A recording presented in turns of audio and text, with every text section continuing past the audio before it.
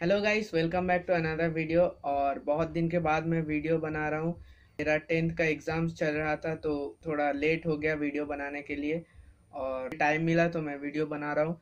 Guys कुछ दिन पहले मैंने एक वीडियो बनाया था how to enable the notification LED of Moto E four plus तो उस वीडियो में मुझे बहुत सारा कॉमेंट आए कि भाई मेरा काम नहीं कर रहा है, तेरा डिवाइस रूट है।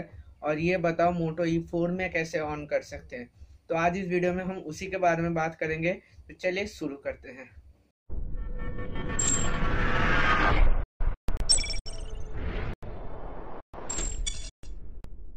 तो गाइस जैसा कि मैंने बताया, उस वीडियो में मुझे बहुत सारा कमेंट आए।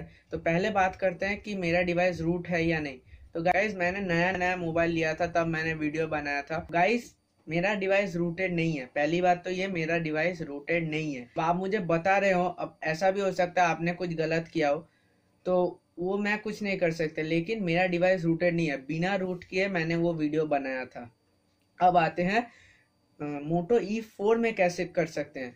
तो गाइस मोटो ई फोर में आप नोटिफिकेशन एलईडी नोटिफिकेशन के लिए एनेबल नहीं कर सकते, जो कि बाय डिफ़ॉल्ट है। अब आप लेनोवो के फोरम में देख सकती हैं, आप स्क्रीन में आ रहा है। उसमें लिखा है कि वो बंद कर दिया गया है। आप सेट नोटिफिकेशन एलईडी को चार्जिंग या लो बैटरी के टाइम में देख सकते हैं।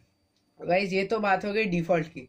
लेकिन अब मैं आपको बताऊँगा कि आप कैसे मोटो ई फोर में नोटिफिकेशन एलईडी चालू कर सकते हैं।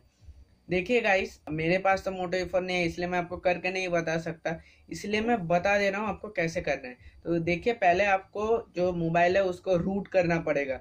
उसके बाद क्या करना होगा, आपको कुछ नहीं, बस एक ऐप डाउनलोड करना होगा, जिसका नाम मुझे अभी याद नहीं है, मैं आपको डिस्क्रिप्शन में दे दूँगा, आप वहाँ से डाउनलोड कर सकते हैं। आप उस ऐप को यूज़ करके नोटिफिकेशन एलईडी ऑन कर सकते हैं मोटो ई फोर में।